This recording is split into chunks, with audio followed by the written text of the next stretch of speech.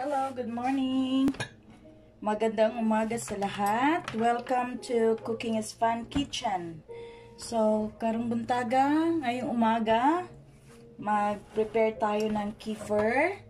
So, ito yung breakfast namin, no? Always. Ilang ano na ba? Ilang weeks na ba na nag-kefir ako? From siguro November ako nag-start or December, no? So, madali lang ito and very healthy. Ang gawin natin, ito, ginawa ko itong kefir, no? So, ito, bagong kefir na ginawa ko kagabi. So, tapusin ko lang ito, ubusin ko lang ito, no? Ang kefir na to. So, ilagay ko dito, 1 cup lang ng kefir. Okay, and then, oh, 1 cup talaga, oh. Mm, kala ko kulang kaya pinalabas ko yung isa. So, 1 cup of kefir. And then, nilalagyan ko yan ng flaxseed oil. Kunin ko lang muna. So, nilalagyan ko yan ng flaxseed oil. No? Kasi very healthy din itong flaxseed oil. Ang nilalagay ko is 6 teaspoon or tablespoon ba to? Maliit. So, I think ano ito teaspoon? Or uh, siguro tablespoon kasi medyo malaki no? So 6 na ganito ang ilalagay ko. 2 3 4 5 6 okay baka magtanong yung iba bakit nilalagyan ko ng flaxseed oil? Kasi pina-follow ko yung ano yung Budwig diet. No, ang ginamit nila quark cheese. Pero sa akin kefir ang ginamit ko. No, kasi pwede naman yung kefir. Ang quark cheese ay ano yun fermented from kefir. So fermented cheese na galing sa kefir. So, nakita nyo itong kefir at saka flaxseed oil, no? Gusto ko itong mahalo talaga. So, kaya, oh. Okay, gusto kong mahalo ito talaga, kaya gamitan ko ng mixer. So, i-mix natin ito for 1 minute.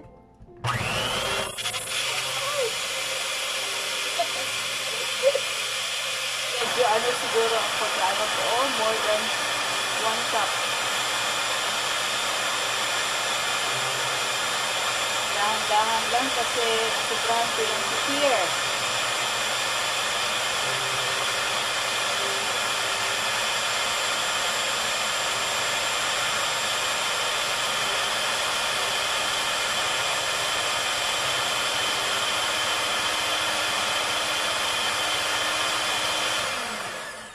Okay, mabuti hindi siya umapaw, ano? Okay, so na-mix na siya. Nyo, very creamy na ang texture niya, oh. No? So, kanina, hindi pa ganito yung texture ng kefir. So, kaya usually, inaano ko talaga ito. Ginagamitan ko ng mixer. So, ito, ready na to. Ready na to. So, ang gawin natin, mag-slice na ako ng fruits, no? So, ang gamit ko ngayon na fruits, kung ano yung mga available na prutas sa inyo dyan, no? Pwede ninyong gamitin. So, sa akin ngayon, gamit ako ng apple. Tingnan ko kung, kasi kahapon, ano ko, kahapon, half na apple ang ginamit ko pero medyo marami-rami din ang nagawa ko, no? Half apple at saka half na anong tawag niyan? Piras, pears. So, half. No? Kasi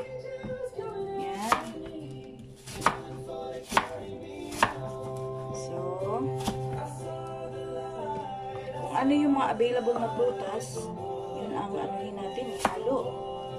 So, kung meron kayong mga available dyan kasi sa Pilipinas o sa ibang lugar, iba-iba yung prutas eh. So, pwede natin gamitin. So, ito, yan. Siguro dalawahin ko na lang ang apple.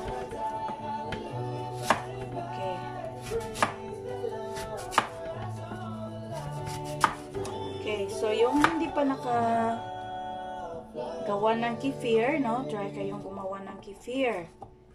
So, yung mga friends ko na taga dito lang, malapit sa akin, meron akong kefir grains.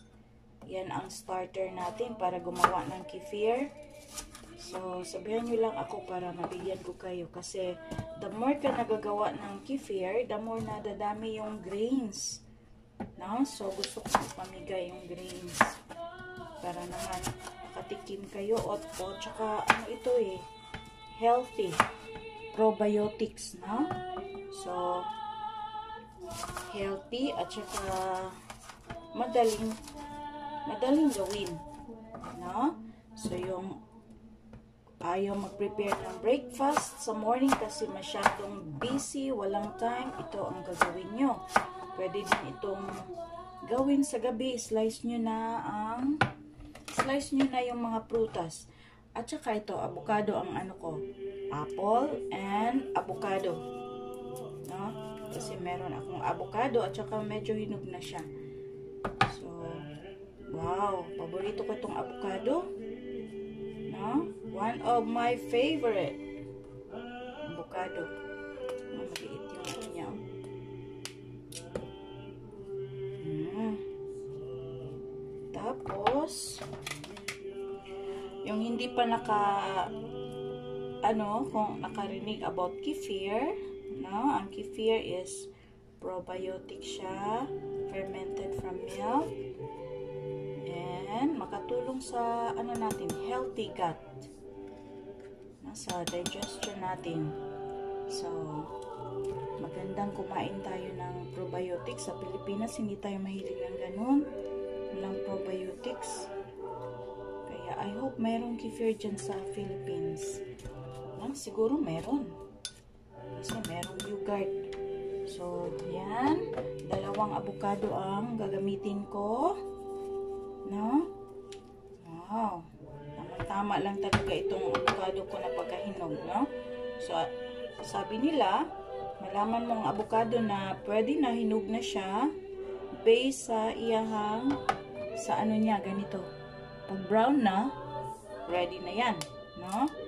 Pwede na siyang kainin. Kasi ang minsan, green pa.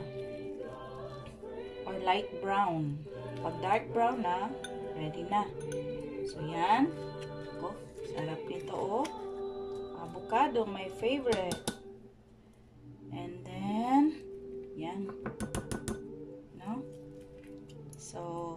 Dalawang apple lang. Kami ng dalawa ng husband ko nito. Oh, ito, baon niya. At saka baon ko rin for the whole day. At saka lagyan ko ng blueberries. I like blueberries. Gusto ko rin ang blueberries kasi ang mga berries, ano yan, healthy. Healthy ang mga berries. Kaya kain tayo ng mga berries. Sa atin, ano ba ang mga berries dyan sa Philippines? Merong mga berries siguro. Pero iba lang yung name natin. Siguro, lumboy. lumboy. Alam niyo ba yung lumboy? No? So, yan. Ah, nako. Medyo madami-dami din, oh. Busog na talaga ito. Masarap ito sa, ano, breakfast kasi ito, ganito lang, no? Ganito lang to, pero makasustain ito for the whole after, uh, before lunch. Gutom ka na, pero hindi masyadong kumukulo yung chan mo. So, ganyan lang, no? Hati din kami nito, oh. Ganyan. Mm. Yan. Tapos, ganyan lang ang pag-prepare. So, ilang minutes lang yan. Ma Matagal-tagalan ka lang kung marami ang in-slice mo na prutas. Pero pag konti lang, Oh, tingnan mo. Ilang minutes lang yan. Siguro 5 minutes. Tapos na yung breakfast mo. And then, gusto kong lagyan ng ganito. Ewan ko bakit paborito ko to. Paborito ko itong cranberry. Gran dried cranberry. Ah. Tapos, siguro lagyan ko ng chia seeds. Gusto ko rin yung chia seeds. Mm. Chia seeds. Marami itong health benefits din ng chia seeds, na. So, dalawang maliit na kutsara. Mm.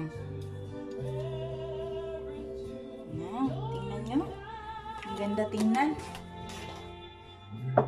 Okay, and then, oh, lagyan ko pa ng nuts kasi medyo masarap yung merong konting, ano ba yan? Crunchy, crunchy. No?